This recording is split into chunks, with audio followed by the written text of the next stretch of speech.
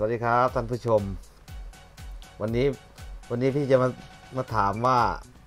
การทำบั๊ก Let's warm up. หยุดกลาง Let's อากาศ warm เนี่ย up. มันใช้มันเป็นเป็นบั๊กหรือว่าเป็นเทคนิค Let's นะครับ warm up. ว่ามันผิดหรือเปล่า Let's warm up. อยากรู้คนที่ Let's warm up. คนที่รู้บอกหน่อยนะครับ เดี๋ยวจะเข้าไปดูก่อนนะครับ ว่าต้องทำยังไง ไป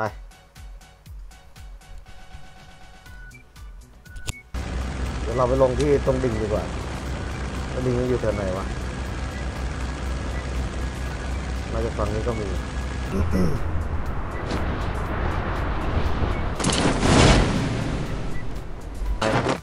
ก็ไม่รู้ว่ามันเป็นบั๊กหรือเปล่า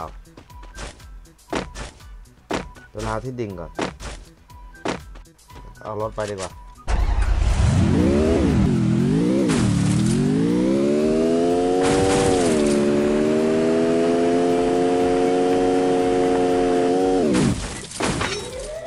จอที่ดิ่งแล้วนะครับ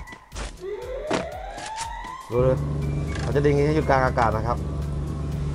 เนี่ยแบบนี้มันมันเป็นบั๊กหรือเปล่ามันมันมันผิดไหม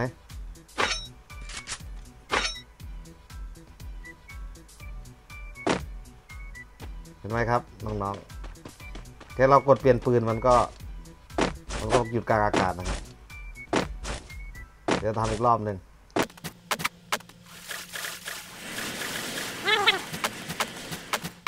ขั บดีกว่าไม่ได้ปะดิงไปอยู่ข้างบนเนี่ย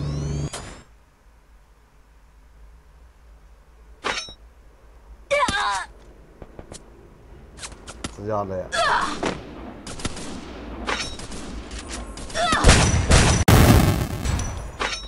โปรเนี่ยมองเห็นโอเคครับ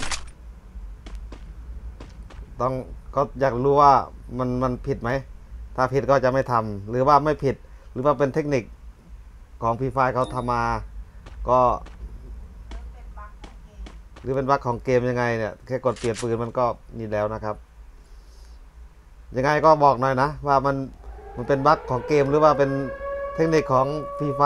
กาลิน่าพีไฟเขาจัดทำให้นะครับ ขอบคุณนะครับ ขอคำชี้แจงด้วยนะครับ บ๊ายบาย